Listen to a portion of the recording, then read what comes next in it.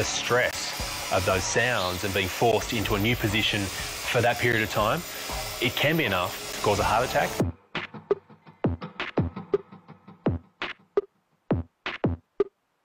With five years of wool growth on top of Ben, there could be just about anything lurking underneath that fleece.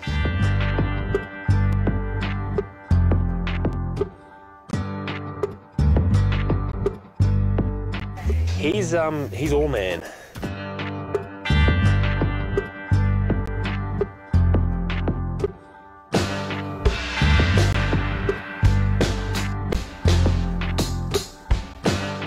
He's pulling on the skin.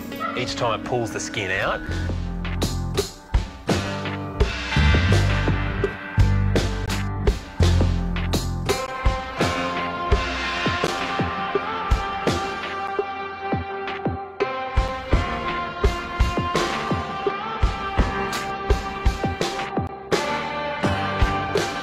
got some arthritis in this, this elbow joint of his. Right.